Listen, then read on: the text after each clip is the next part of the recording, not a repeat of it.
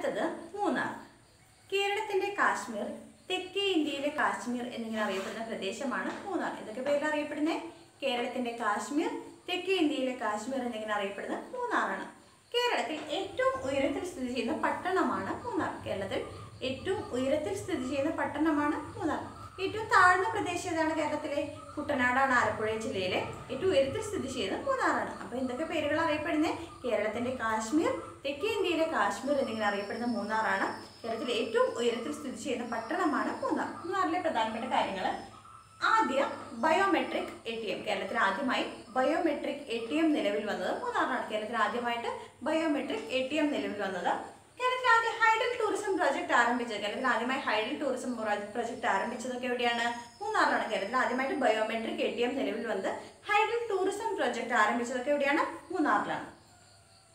ബ്രിട്ടീഷുകാരുടെ ആദ്യ വേനൽക്കാല വസതി കേരളത്തിലെ ബ്രിട്ടീഷുകാരുടെ കേരളത്തിലെ ആദ്യത്തെ വേനൽക്കാല വസതി ഏതാണെന്ന് ചോദിച്ചു കഴിഞ്ഞിട്ടുണ്ടെങ്കിൽ മൂന്നാറാണ് കേരള ബ്രിട്ടീഷുകാരുടെ കേരളത്തിലെ വേനൽക്കാല വസതിയാണ് മൂന്നാർ.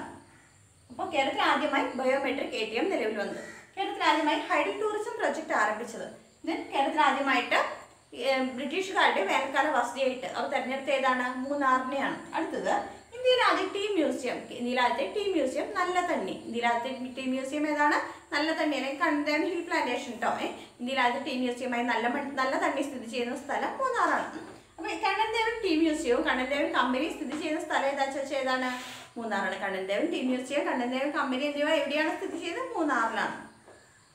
Then മൂന്നാർ എന്ന് പറഞ്ഞിട്ടുണ്ടെങ്കിൽ മൂന്ന് ആർ മൂന്ന് ആറുകൾ മൂന്ന് നദികളാണ്. ഏതൊക്കെയാണ് മൂന്ന് ആറുകൾ ഏതൊക്കെ നദികൾ കൂടിച്ചേർന്നതാണ് മൂന്നാർ മുതിരപ്പുഴ നല്ല തണ്ണി കുണ്ടള. മൂന്നാറിൽ സംഗമിക്കുന്ന നദികൾ ഏതൊക്കെയാണ്? മുതിരപ്പുഴ നല്ല തണ്ണി കുണ്ടള എന്നിവയാണ് മൂന്ന് ആറുകൾ പിന്നെ ദക്ഷിണേന്ത്യയിൽ ഏറ്റവും ഉയരം കൂടിയ കൊടുമുടിയായ ആനമുടി സ്ഥിതി ചെയ്യുന്ന പഞ്ചായത്ത് മൂന്നാറാണ്. ദക്ഷിണേന്ത്യയിലെ ഏറ്റവും ഉയരം കൂടിയ കൊടുമുടി ഏതാണ്? ആനമുടി. അത് സ്ഥിതി ചെയ്യുന്ന പഞ്ചായത്ത് ഏതാണ്? മൂന്നാറാണ്. അപ്പോൾ മൂന്നാറിനെ കുറിച്ച് എന്തൊക്കെ പറഞ്ഞേ? കേരളത്തിന്റെ കാശ്മീർ തെക്കേ ഇന്ത്യയിലെ കാശ്മീർ എന്നറിയപ്പെടുന്നു. കേരളത്തിന്റെ കാശ്മീർ തെക്കേ ഇന്ത്യയിലെ കാശ്മീർ എന്നറിയപ്പെടുന്ന മൂന്നാറാണ് കേരളത്തിൽ ഏറ്റവും ഉയരത്തിലായി സ്ഥിതി ചെയ്യുന്ന പട്ടണം. പിന്നെ കേരളത്തിൽ ആദ്യത്തെ എന്ന് പറഞ്ഞിട്ട് പറഞ്ഞില്ലേ? കേരളത്തിൽ ആദ്യമായിട്ട് ബയോമെട്രിക് എ ടി എം നിലവിൽ വന്നു. കേരളത്തിൽ ഹൈഡൽ ടൂറിസം പ്രൊജക്ട് ആരംഭിച്ചത്. ജലവൈദ്യുത പദ്ധതികളൊക്കെ ഒരുപാടുണ്ടല്ലോ. അതുമായി ബന്ധപ്പെട്ട് ടൂറിസം ഡെവലപ്മെന്റ് ഡെവലപ്പ് ചെയ്ത് ഹൈഡൽ ടൂറിസം പ്രൊജക്ട് ആരംഭിച്ചത്. ബ്രിട്ടീഷുകാരുടെ കേരളത്തിലെ വേനൽക്കാല വസതിയായി തെരഞ്ഞെടുത്തത്. ബ്രിട്ടീഷുകാരുടെ കേരളത്തിലെ ആദ്യ വേനൽക്കാല വസതിയായിട്ട് തെരഞ്ഞെടുത്തത് ഇപ്പോൾ കേരളത്തിൽ ആദ്യം ബയോമെട്രിക് എ ടി എം നിലവിൽ വന്നത് കേരളത്തിൽ ആദ്യം ഹൈഡൽ ടൂറിസം പ്രൊജക്ട് ആരംഭിച്ചത് ബ്രിട്ടീഷുകാരുടെ കേരളത്തിൽ ആദ്യ വേനൽക്കാല വസതി എന്നിവ ഏതാണ്? മൂന്നാറാണ്. പിന്നെ എന്താ പറയുക? മൂന്നാറിലുള്ള സംഭവങ്ങൾ അവർ ഇന്ത്യയിലെ ആദ്യത്തെ ടി മ്യൂസിയം ഏതാണ്? നല്ല തണ്ണി. നല്ല തണ്ണി മ്യൂസിയം അല്ലെങ്കിൽ കണ്ണൻദേവൻ മ്യൂസിയം അത് കണ്ണൻദേവൻ മ്യൂസിയവും കണ്ണൻദേവൻ കമ്പനിയും സ്ഥിതി ചെയ്യുന്നത് എവിടെയാണ്? മൂന്നാറിലാണ്. മൂന്നാർ മൂന്നാറിൽ സംഗമിക്കുന്ന നദികൾ ഏതൊക്കെയാ? മുതിരപ്പുഴ നല്ല തന്നെ കുണ്ടള എന്നിവയാണ് മൂന്നാറിൽ സംഗമിക്കുന്ന നദികൾ. പിന്നെ എന്ത് പറഞ്ഞു? ദക്ഷിണേന്ത്യയിലെ ഏറ്റവും ഉയരം കൂടിയ കൊടുമുടിയായ ആനമുടി സ്ഥിതി ചെയ്യുന്ന പഞ്ചായത്ത്. ദക്ഷിണേന്ത്യയിലെ ഏറ്റവും ഉയരം കൂടിയ കൊടുമുടി ഏതാണ്? ആനമുടി. ആനമുടി സ്ഥിതി ചെയ്യുന്ന പഞ്ചായത്ത് ഏതാണ്? മൂന്നാറാണ്. ഇതൊക്കെ ആനമുടിയെ കുറിച്ച് പഠിക്കാം. ദക്ഷിണേന്ത്യയിലെ ഏറ്റവും ഉയരം കൂടിയ കൊടുമുടിയാണ്. ഇനി പശ്ചിമഘട്ടത്തിലെ ഏറ്റവും ഉയരം കൂടിയ കൊടുമുടിയാണ് ആനമുടി. ഇമ്പോർട്ടന്റ് ആണ്. ദക്ഷിണേന്ത്യയിലെ ഏറ്റവും ഉയരം കൂടിയ കൊടുമുടി അല്ലെങ്കിൽ പശ്ചിമഘട്ടത്തിലെ ഏറ്റവും ഉയരം കൂടിയ കൊടുമുടി ഏതാണ്? ആനമുടിയാണ്. ഇതിന്റെ ഉയരം രണ്ടായിരത്തി അറുന്നൂറ്റി തൊണ്ണൂറ്റഞ്ച് മീറ്റർ ആണ്. രണ്ടായിരത്തി അറുന്നൂറ്റി തൊണ്ണൂറ്റഞ്ച് മീറ്റർ ആണ്. അല്ലെങ്കിൽ ഫീറ്റ് അടിക്കണക്ക് പറയുകയാണെങ്കിൽ എണ്ണായിരത്തി എണ്ണൂറ്റി നാൽപ്പത്തിരണ്ട് ഫീറ്റ് ആണ്. എണ്ണായിരത്തി എണ്ണൂറ്റി നാൽപ്പത്തിരണ്ട് ഫീറ്റ് ആണ് ഇതിന്റെ ഉയരം. സെക്കൻഡ് ഇനി കേരളത്തിൽ രണ്ടാമത്തെ ദക്ഷിണേന്ത്യയിലെ രണ്ടാമത്തെ ഉയരം കൂടിയ കൊടുമുടി ഏതാ? മീശപ്പുലിമല. അതും ഇടുക്കി ജില്ലയിലാണ് കേട്ടോ അതിന് ഉയരം രണ്ടായിരത്തി അറുന്നൂറ്റി നാൽപ്പതാണ് അപ്പൊ ദക്ഷിണേന്ത്യയിലെ ഏറ്റവും ഉയരം കൂടിയ കൊടുമുടി ആനമുടി രണ്ടാമത്തെ മീശപ്പുലിമലയാണ്. അപ്പൊ ദക്ഷിണേന്ത്യയിലെ ഏറ്റവും ഉയരം കൂടിയ കൊടുമുടി അല്ലെങ്കിൽ പശ്ചിമഘട്ടത്തിലെ ഏറ്റവും ഉയരം കൂടിയ കൊടുമുടി ആനമുടിയുടെ ഉയരം എത്ര മീറ്റർ ആണ് രണ്ടായിരത്തി അറുന്നൂറ്റി തൊണ്ണൂറ്റഞ്ച് മീറ്റർ ആണ് അല്ലെങ്കിൽ രണ്ടായിരത്തി എണ്ണൂറ്റി നാൽപ്പത്തിരണ്ട് ഫീറ്റ് ആണ് ഓക്കെ. അപ്പൊ മൂന്നാറിനെ കുറിച്ചാണ് നമ്മൾ ഇത്രയും പറഞ്ഞത് അല്ലേ? കേരളത്തിന്റെ കാശ്മീർ അല്ലെങ്കിൽ തെക്കേ ഇന്ത്യയിലെ കാശ്മീർ എന്നറിയപ്പെടുന്നു. കേരളത്തിലെ ഏറ്റവും ഉയരത്തിലായി സ്ഥിതി ചെയ്യുന്ന പട്ടണമാണ് കേരളത്തിൽ ആദ്യ ബയോമെട്രിക് എ ടി എം കേരളത്തിലാദ്യ ഹൈഡൽ ടൂറിസം പ്രൊജക്ട് ബ്രിട്ടീഷുകാരുടെ കേരളത്തിലാദ്യ വേനൽക്കാല വസതി എന്നിവ എന്താണ്? മൂന്നാറാണ്. Then ഇന്ത്യയിൽ മ്യൂസിയം ഏതാണ് നല്ല തണ്ണി അതെവിടെയാണ് മൂന്നാറിലാണ്. കണ്ണൻദേവൻ ടീം മ്യൂസിയവും കണ്ണൻദേവൻ കമ്പനിയും സ്ഥിതി ചെയ്യുന്ന മൂന്നാറാണ്. മൂന്ന് ആറ്. മൂന്നാറിൽ മൂന്നിൽ മൂന്നാറിൽ സംഗമിക്കുന്ന നദികൾ ഏതൊക്കെയാണ് മുതിരപ്പുഴ നല്ല തന്നെ കുണ്ടണം ഓക്കെ ദക്ഷിണേന്ത്യയിൽ ഏറ്റവും ഉയരം കൂടിയ കൊടുമുടിയായ ആനമുടി സ്ഥിതി ചെയ്യുന്ന പഞ്ചായത്താണ്. ഇത് പശ്ചിമഘട്ടത്തിൽ ഏറ്റവും ഉയരം കൂടിയ കൊടുമുടിയാണ്. രണ്ടാം സ്ഥാനം മീശപ്പുലിമലയ്ക്കാണ്. ഇടുക്കി ജില്ലയിൽ തന്നെയാണ് മീശപ്പുലിമല. ദെൻ എത്രയാണ് ഉയരം? രണ്ടായിരത്തി അറുന്നൂറ്റി തൊണ്ണൂറ്റഞ്ച് മീറ്റർ അല്ലെങ്കിൽ രണ്ടായിരത്തി എണ്ണൂറ്റി നാൽപ്പത്തിരണ്ട് ആണ്. മീശപ്പുലിമലയുടെയോ രണ്ടായിരത്തി അറുന്നൂറ്റി നാൽപ്പത് മീറ്റർ അടുത്തത് തേക്കടി ബോട്ട് അപകടം. തേക്കടി ബോട്ട് അപകടം നടന്നത് രണ്ടായിരത്തി ഒമ്പത് സെപ്റ്റംബർ മുപ്പതിനാണ്. രണ്ടായിരത്തി ഒമ്പത് സെപ്റ്റംബർ മുപ്പതിന് നാല് മണിയോട് വൈകിട്ട് നാല് മണിയോട് കൂടിയിട്ട് തേക്കടിയിൽ നിന്ന് മുല്ലപ്പെരിയാറിലേക്ക് പോവുകയായിരുന്ന ബോട്ടാണ് അപകടത്തിൽപ്പെട്ടത്. ആ ബോട്ടിന്റെ പേരാണ് ജലകന്യക. കെ ടി ഡി സിയുടെ ജലകന്യക എന്ന ബോട്ട് അപകടത്തിൽപ്പെട്ടു. അതിൽ എഴുപത്തി ആറ് പേരിൽ ഒരു നാൽപ്പത്തി എഴുപത്തി ആറ് പേരോളം ഉണ്ടായിരുന്ന ബോട്ടാണ്. അതിൽ നാൽപ്പത്തി ആറ് പേരിനോളമൊക്കെ മരണത്തിനിടയാക്കിയ ബോട്ടാണ് തേക്കടി ബോട്ട് അപകടം. തേക്കടി ബോട്ട് അപകടം. രണ്ടായിരത്തി ഒമ്പത് സെപ്റ്റംബർ മുപ്പതിനാണ് നടന്നത്. ഏത് ബോട്ടിലാണ് കെ ടി ജലകന്യക എന്ന ബോട്ടാണ് അപകടത്തിൽപ്പെട്ടത്. ഈ ദുരന്തം അന്വേഷിച്ച കമ്മീഷനാണ് മൊയ്തീൻ കുഞ്ഞ് കമ്മീഷൻ. അപ്പോൾ തേക്കടി ബോട്ട് അപകടം അന്വേഷിച്ച കമ്മീഷൻ ഏതാണ്? മൊയ്തീൻ കുഞ്ഞ് കമ്മീഷൻ. ജസ്റ്റിസ് മൊയ്തീൻ കുഞ്ഞ് കമ്മീഷനാണ് തേക്കടി ബോട്ട് അപകടം അ- അന്വേഷിച്ചത്. രണ്ടായിരത്തി ഒമ്പത് സെപ്റ്റംബർ മുപ്പതിന് ജലകന്യക ബോട്ട് അന്വേഷിച്ച കമ്മീഷൻ ഏതാണ്? മൊയ്തീൻ കുഞ്ഞ് കമ്മീഷൻ. പുല്ലുമേട് ദുരന്തം. ഇത് പുല്ലുമേട് ദുരന്തം ശബരിമല തീർത്ഥാടനവുമായി ബന്ധപ്പെട്ട് രണ്ടായിരത്തി പതിനൊന്നിലുണ്ടായ ദുരന്തമാണ്. ഈ ശബരിമല തീർത്ഥാടനവുമായി ബന്ധപ്പെട്ട് തന്നെ മകരജ്യോതി ദർശനം കഴിഞ്ഞിട്ട് തിരിച്ചു വരികയായിരുന്ന അയ്യപ്പന്മാരെ അപകടത്തിൽപ്പെട്ടാണ് നൂറ്റിരണ്ടോളം പേര് മരണപ്പെട്ടു. അതാണ് പുല്ലുമേട് ദുരിതം. ഇത് അന്വേഷിച്ച commission M R Hariharan Nair കമ്മീഷനാണ്. അപ്പോൾ കമ്മീഷനുകൾ ചിലപ്പോൾ ചോദിക്കാം. മാറി ചോദിക്കാറുണ്ട്. അപ്പോൾ തേക്കടി ബോട്ടപാട് അന്വേഷിച്ച കമ്മീഷൻ ഏതാണ്? ജസ്റ്റിസ് മൊയ്തീൻ കുഞ്ഞ് കമ്മീഷനാണ്. പുല്ലുമേട് ദുരിതം അന്വേഷിച്ച കമ്മീഷൻ ഏതാണ്? എം ആർ ഹരിഹരൻ നായർ കമ്മീഷനാണ്. എം ആർ ഹരിഹരൻ നായർ പുല്ലുമേട് ദുരന്തവും തേക്കടി ബോട്ടപകടം മൊയ്തീൻ കുഞ്ഞ് കമ്മീഷനും. മംഗളാദേവി ക്ഷേത്രം. കേരളത്തിന്റെയും തമിഴ്നാടിന്റെയും അതിർത്തിയിൽ സ്ഥിതി ചെയ്യുന്ന ക്ഷേത്രമാണ് മംഗളാദേവി ക്ഷേത്രം. കേരളത്തിന്റെയും തമിഴ്നാടിന്റെയും അതിർത്തിയിൽ സ്ഥിതി ചെയ്യുന്നു. കേരളവും തമിഴ്നാടും കൂടി തർക്കം നിലനിൽക്കുന്ന ക്ഷേത്രം ഏതാണെന്ന് ചോദിച്ചാൽ മംഗളാദേവി ക്ഷേത്രമാണ്. ഇത് ചിത്ര പൗർണമി ഉത്സവത്തിന് മാത്രം നട തുറക്കുന്ന ക്ഷേത്രമാണിത്. അല്ലെങ്കിൽ ഇവിടെ നടക്കുന്ന പ്രധാനപ്പെട്ട ഉത്സവം ഏതാണെന്ന് ചോദിച്ചു കഴിഞ്ഞാൽ ഏതാണ്? ചിത്ര പൗർണമിയാണ്. കേരളത്തിന്റെയും തമിഴ്നാടിന്റെയും അതിർത്തിയിൽ സ്ഥിതി ചെയ്യുന്ന ക്ഷേത്രമാണ് മംഗളാദേവി ക്ഷേത്രം. ഇത് കേരളവും തമിഴ്നാടും കൂടി തർക്കം നിലനിൽക്കുന്ന ക്ഷേത്രമാണ്. ഇവിടെ നടക്കുന്ന പ്രധാനപ്പെട്ട ഉത്സവം എന്താണ്? ചിത്ര പൗർണമിയാണ്.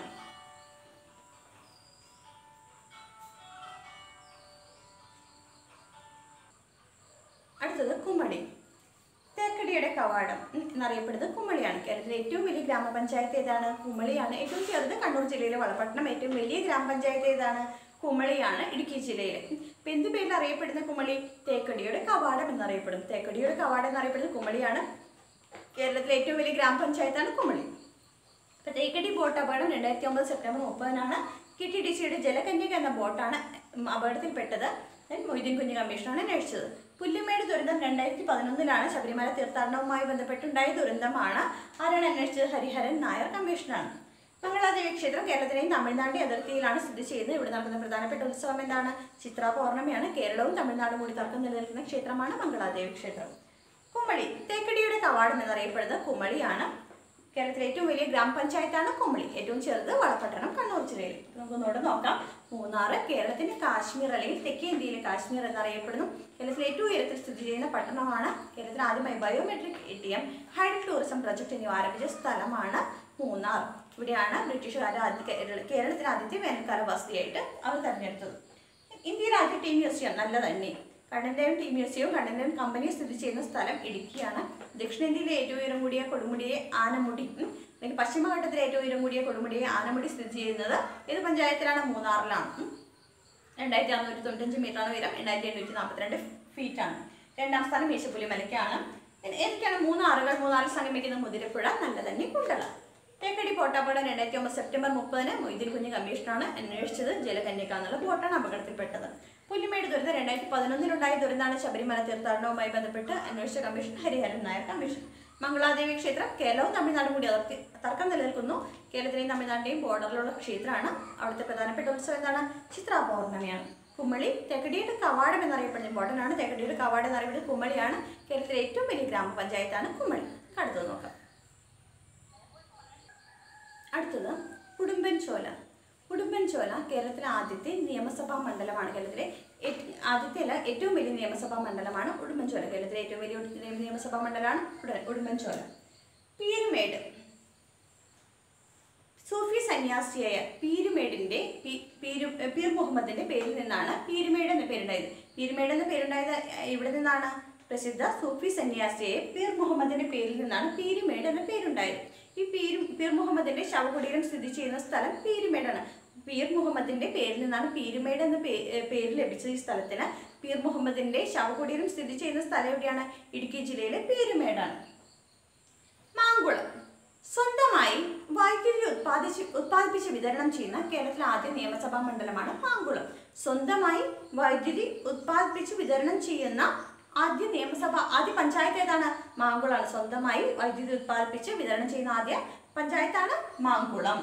ഇത് കേരളത്തിലെ ഏറ്റവും വലിയ നിയമസഭാ മണ്ഡലമാണ് ഉടുമ്പൻചോല. പീരുമേട് എന്താണ്? സുഫി സന്യാസിയെ പീർ മുഹമ്മദിന്റെ പേരിൽ നിന്നാണ് ഈ സ്ഥല പേരിൽ ഈ സ്ഥലത്തിന് ഈ പേര് ലഭിച്ചത്. പീർ മുഹമ്മദിന്റെ കുടിയിൽ ശവകുടിയിൽ സ്ഥിതി ചെയ്യുന്ന സ്ഥലമാണ് മാങ്കുളം. സ്വന്തമായി വൈദ്യുതി ഉത്പാദിപ്പിച്ച് വിതരണം ചെയ്യുന്ന കേരളത്തിലെ ആദ്യ പഞ്ചായത്താണ് മാങ്കുളം. ഉടുമ്പന്നൂർ. കേരളത്തിലെ ആദ്യ ജൈവഗ്രാമം. കേരളത്തിലെ ആദ്യ ജൈവഗ്രാമമാണ് ഉടുമ്പന്നൂർ. കേരളത്തിലെ ആദ്യ ജൈവ സംസ്ഥാനം ഏതാണ്? ജൈവ സംസ്ഥാനം സിക്കിം. ജൈവ ജില്ലയോ കാസർ ഇന്ത്യയിലെ ആദ്യത്തെ ജൈവ സംസ്ഥാനം സിക്കിം കേരളത്തിലെ ആദ്യത്തെ ജൈവ ജില്ല കാസർഗോഡ്. കേരളത്തിലെ ആദ്യത്തെ ജൈവ പഞ്ചായത്ത് ഏതാണ്? പനത്തടി കാസർഗോഡ് ജില്ലയിലെ പനത്തടി ജൈവ ഗ്രാമം ഉടുമ്പന്നൂർ നമ്മൾ കാസർഗോഡ് ജില്ല എടുത്തപ്പോൾ നമ്മൾ അവിടെ എഴുതി വെച്ചിട്ടുണ്ടായിരുന്നു. ഇന്ത്യയിലെ ആദ്യത്തെ ജൈവ സംസ്ഥാനം സിക്കിം ജൈവ ജില്ല കാസർഗോഡാണ് ജൈവ ഗ്രാമം ഉടുമ്പന്നൂരാണ് ജൈവ പഞ്ചായത്ത് കാസർഗോഡ് ജില്ലയിലെ പനത്തടിയാണെന്ന് പറഞ്ഞിട്ട്.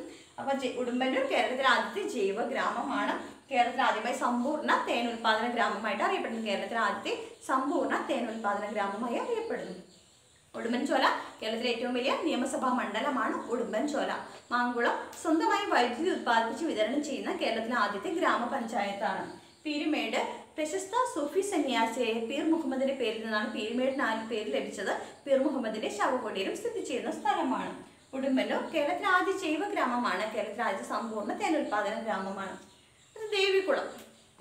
ദേവികുളത്താണ് കേരളത്തിലെ ഏറ്റവും വലിയ ദേശീയോദ്യാനം ഇരവിക്കുളമാണ് ഇടുക്കി ജില്ലയിലെ ഇരവിക്കുളം ദേശീയോദ്യാനമാണ് കേരളത്തിലെ ഏറ്റവും വലിയ ദേശീയോദ്യാനം. ഈ ഇരുവിക്കുളം ദേശീയോദ്യാനം സ്ഥിതി ചെയ്യുന്ന താലൂക്ക് ദേവികുളമാണ് ഇടുക്കി ദേശീയോദ്യാനം സ്ഥിതി ചെയ്യുന്ന താലൂക്ക് ദേവികുളം ഇരവിക്കുളം ദേശീയോദ്യാനം സ്ഥിതി ചെയ്യുന്ന താലൂക്ക് ഏതാണ്? ദേവികുളമാണ് കുറിഞ്ഞിമല സംരക്ഷണ കേന്ദ്രം national adventure academy Idamalayar dam എന്നിവ സ്ഥിതി ചെയ്യുന്നതും ദേവികുളത്താണ്. എന്തൊക്കെയാണ്? കുറിഞ്ഞിമല സംരക്ഷണ കേന്ദ്രം national adventure academy Idamalayar dam എന്നിവയൊക്കെ ദേവികുളം താലൂക്കിൽപ്പെട്ടതാണ്. ഒരു പ്രത്യേക സസ്യത്തിനായി മാത്രം ഇന്ത്യയിൽ ആദ്യമായി നിലവിൽ വന്ന സംരക്ഷണ കേന്ദ്രമാണ് കുറിഞ്ഞിമല. ഒരു പ്രത്യേക സസ്യത്തിന്റെ സംരക്ഷണത്തിനായിട്ട് ഇന്ത്യയിൽ ആദ്യമായി നിലവിൽ വന്ന സംരക്ഷണ കേന്ദ്രമാണ് കുറിഞ്ഞിമല. ഇത് പന്ത്രണ്ട് വർഷത്തിലൊരിക്കൽ പൂക്കുന്ന നീലക്കുറിഞ്ഞിയുടെ സംരക്ഷണത്തിനായിട്ടാണ് നിലവിൽ വന്നത്. പന്ത്രണ്ട് വർഷത്തിലൊരിക്കലാണ് നീലക്കുറിഞ്ഞി പൂക്ക് എല്ലാവർക്കും അറിയാം അല്ലേ? അതിന്റെ സംരക്ഷണത്തിനായിട്ടാണ് കുറിഞ്ഞിമല സംരക്ഷണ കേന്ദ്രം നിലവിൽ വന്നത്.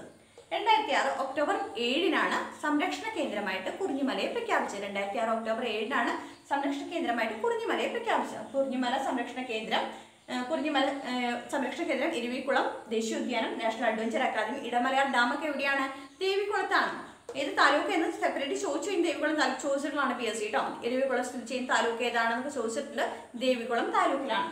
ഒരു പ്രത്യേക സസ്യത്തിനായി മാത്രം ഇന്ത്യയിൽ ആദ്യമായിട്ട് നിലവിൽ വന്ന സംരക്ഷണ കേന്ദ്രം ഏതാണ് കുറിഞ്ഞിമലയാണ് എന്നാൽ നിലവിൽ വന്നത് രണ്ടായിരത്തി ആറ് ഒക്ടോബർ ഏഴിനാണ് നിലവിൽ വന്നത്. ഏത് സസ്യത്തിന് വേണ്ടിയിട്ടാ നീലക്കുറിഞ്ഞിക്ക് വേണ്ടിയിട്ട് പന്ത്രണ്ട് വർഷത്തിലൊരിക്കൽ പൂക്കുന്ന നീലക്കുറിഞ്ഞിയുടെ സംരക്ഷണത്തിനായിട്ടാണ് കുറിഞ്ഞിമല സംരക്ഷണ കേന്ദ്രം നിലവിൽ വന്നത്. എന്താണ് നീലക്കുറിഞ്ഞിയുടെ ശാസ്ത്രീയ നാമം?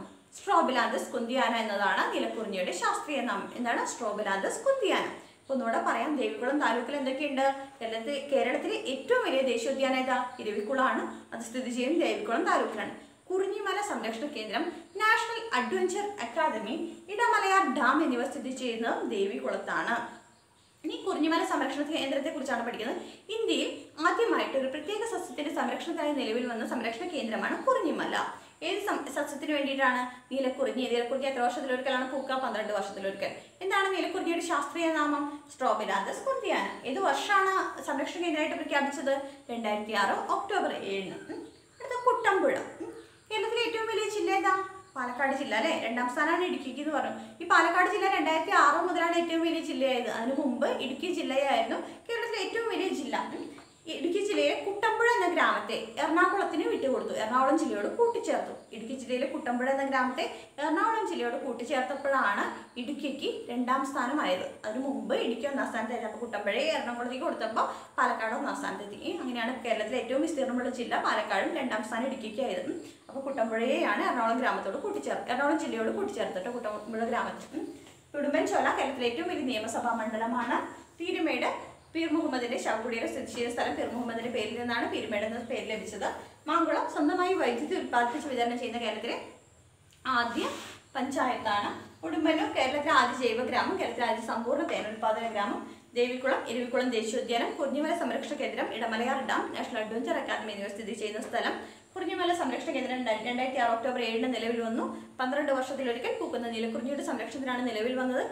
ഇന്ത്യയിൽ ഒരു പ്രത്യേക സസ്യത്തിനായിട്ട് നിലവിൽ വന്ന ആദ്യ സംരക്ഷണ കേന്ദ്രമാണ് കുറിഞ്ഞിമല സംരക്ഷണ കേന്ദ്രം.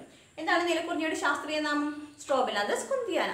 കുട്ടമ്പുഴ. കുട്ടമ്പുഴ എന്താണ്? ഒരു ഗ്രാമമാണ്. ഇടുക്കിയിലുണ്ടായിരുന്ന ഗ്രാമമാണ്. ഇപ്പോൾ എറണാകുളത്താണ്. എറണാകുളം ജില്ലയോട് കൂട്ടിച്ചേർത്തു. അപ്പോൾ ഇടുക്കിക്ക് ഒന്ന ഏറ്റവും വലിയ ജില്ല എന്നുള്ള സ്ഥാനം നഷ്ടപ്പെട്ടു. രണ്ടാം സ്ഥാനത്തേക്ക് ഇടുക്കി മാറി. ഓക്കെ.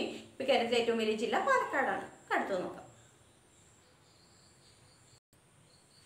അടുത്തത് കേരളത്തിലെ ആദ്യത്തെ എന്ന് തുടങ്ങാവുന്ന ഇടുക്കി ജില്ലയുമായി ബന്ധപ്പെട്ട കുറേ പോയിന്റുകളാണ് കേരളത്തിലെ ആദ്യത്തെ ദേശീയോദ്യാനം ഇരവിക്കുളം ദേശീയോദ്യാനം. കേരളത്തിലെ ആദ്യ ദേശീയോദ്യാനം ഏതാണ്? ഇരവിക്കുളം നമ്മളത് ദേശീയോദ്യാനങ്ങളായിട്ട് പഠിക്കും കേട്ടോ വേറെ സെക്ഷനായിട്ട് പഠിക്കും. ഇപ്പൊ ജസ്റ്റ് പറഞ്ഞു പോകണേ ഉള്ളൂ. കേരളത്തിലെ ആദ്യ ദേശീയോദ്യാനം ഏതാ? ഇരവിക്കുളം കേരളത്തിലെ ആദ്യത്തെ വന്യജീവി സങ്കേതമാണ് പെരിയാർ അല്ലെങ്കിൽ തേക്കടി വന്യജീവി സങ്കേതം. കേരളത്തിലെ ആദ്യത്തെ വന്യജീവി സങ്കേതം ഏതാണ്? പെരിയാർ അല്ലെങ്കിൽ തേക്കടി വന്യജീവി സങ്കേതം. കേരളത്തിലെ ആദ്യത്തെ ജലവൈദ്യുത പദ്ധതി. ജലവൈദ്യുത പദ്ധതി പള്ളിവാസലാണ്. ഇത് ആയിരത്തി തൊള്ളായിരത്തി നാൽപ്പതിലാണ് നിലവിൽ വന്നത്. ഏത് രാജാവിന്റെ കാലത്താണ്? ശ്രീ ചിത്തിരി തിരുനാളിന്റെ കാലത്താണ് ഈ മൂന്ന് പോയിന്റ് ഓർത്തിരിക്കണം. കേരളത്തിലെ ആദ്യത്തെ ജലവൈദ്യുത പദ്ധതി പള്ളിവാസലാണ് വർഷം ആയിരത്തി തൊള്ളായിരത്തി നാൽപ്പത് ഏത് തിരുവിതാംകൂർ രാജാവിന്റെ കാലത്താണ്? ശ്രീ ചിത്തിരി തിരുനാളിന്റെ കാലത്താണ്. അപ്പൊ കേരളത്തിലെ ആദ്യത്തെ ദേശീയോദ്യാനം ഇരവിക്കുളം ആദ്യത്തെ വന്യജീവി സംഗീതം പെരിയാർ അല്ലെങ്കിൽ തേക്കടി വന്യജീവി സംഗീതം ആദ്യത്തെ ജലവൈദ്യുത പദ്ധതി പള്ളിവാസൽ ആയിരത്തി തൊള്ളായിരത്തി നാൽപ്പതിൽ ശ്രീ ചിത്തിരി തിരുനാളിന്റെ കാലത്ത്. കേരളത്തിലെ ഭൂഗർഭ ജലവൈദ്യുത പദ്ധതി. കേരളത്തിലെ ഭൂഗർഭ ജലവൈദ്യുത പദ്ധതി മൂലമറ്റമാണ്. ഇത് നാടുകാണി മലയുടെ താഴ്വാരത്താണ് സ്ഥിതി ചെയ്യുന്നത്. കേരളത്തിലെ ആദ്യ ഭൂഗർഭ ജലവൈദ്യുത പദ്ധതി ഏതാണ് മൂലമറ്റമാണ്. ഇന്ത്യയിലെ ഏറ്റവും വലിയ പ്രഷർ ഷാഫ്റ്റ് ഉള്ള പവർ ഹൗസും മൂലമറ്റമാണ്. ഇന്ത്യയിലെ ഏറ്റവും വലിയ പ്രഷർ ഷാഫ്റ്റ് ഉള്ള പവർ ഹൗസ് ഏതാണ്? മൂലമറ്റമാണ്. കേരളത്തിലെ ആദ്യത്തെ ഭൂഗർഭ ജലവൈദ്യുത പദ്ധതിയാണ്. ഇന്ത്യയിലെ ഏറ്റവും വലിയ പ്രഷർ ഷാഫ്റ്റ് ഉള്ള പവർ ഹൗസ് ആണ് ഇത് മൂലമറ്റം. ഇത് ഏത് മലയുടെ താഴ്വാരത്താണ്? നാടുകാണി മലയുടെ താഴ്വാരത്താണ്.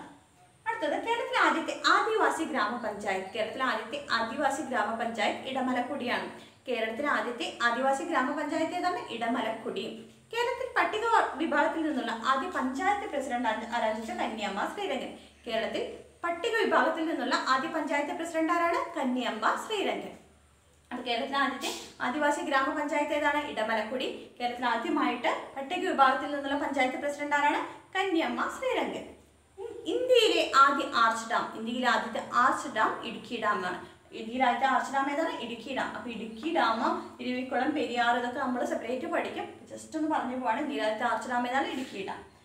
കേരളത്തിലാദ്യ സ്പൈസസ് പാർക്ക് കേരളത്തിലാദ്യ സ്പൈസസ് പാർക്ക് പുറ്റടിയാണ്. ഇടുക്കി ജില്ലയിലെ പുറ്റടിയിലാണ് കേരളത്തിലാദ്യ സ്പൈസസ് പാർക്ക് സ്ഥിതി ചെയ്യുന്നത്. കേരളത്തിലാദ്യ സ്പൈസസ് പാർക്ക് എവിടെയാണ്? പുറ്റടി.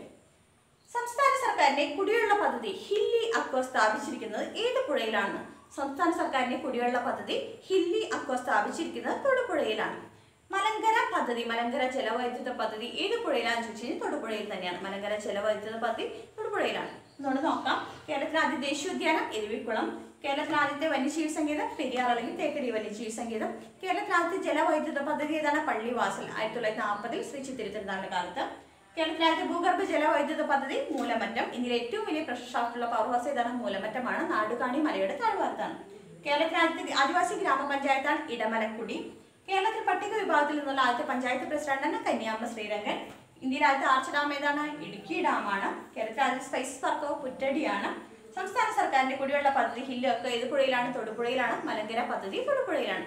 ഇത്രയും മനസ്സിലായല്ലോ? ബാക്കിയുള്ള ഭാഗം അടുത്ത ക്ലാസ്സിലെടുക്കാം